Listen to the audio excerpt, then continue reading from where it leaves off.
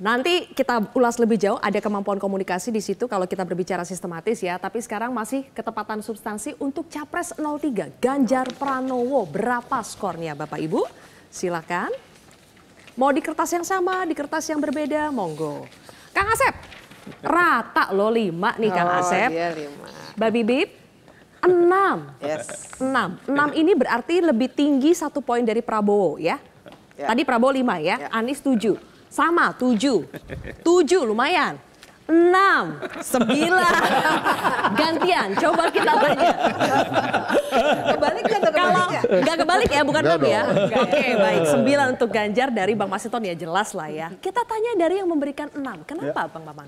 Eh, gini, eh, kan kita bicara tentang ketepatan substansi ya. Ya.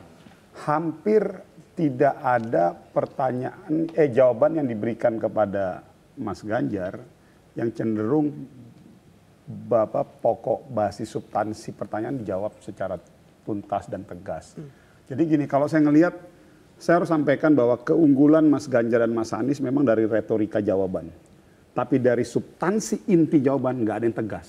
Ngalur ngidul, ada yang jawab angin lah, ada yang jawab ke kanan ke kiri lah.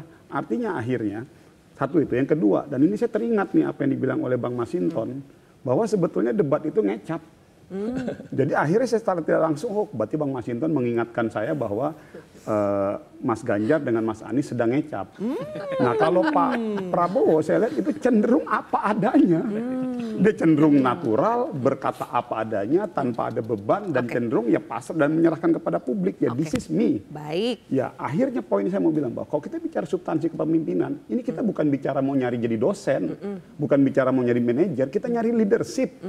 Yang mau jadi dosen siapa kira-kira di Ya, antara saya, ya dua silakan paslon yang pilih lain? Pak. Itu. Anis, Anis maksudnya. Anis. Jadi hari ini kita mencari pemimpin Republik Indonesia, Oke. bukan hafalan, Baik, coba. bukan hafalan Bang Masinton ayat-ayat ditanggapi dong. pasal dan Katanya segala ngecap macam. doang, Mas Gajar. Ya saya, saya menambah, saya tuh merespon apa yang dibilang. Masinton. yang disampaikan Pak Ganjar itu bukan kecap, bahwa beliau pernah melakukan dan mengerjakan, gitu ya.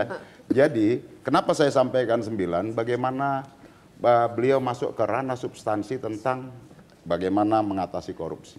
Beliau sampaikan berdasarkan data yang dikutip dari teman-teman elemen uh, civil society penggiat anti korupsi ICW.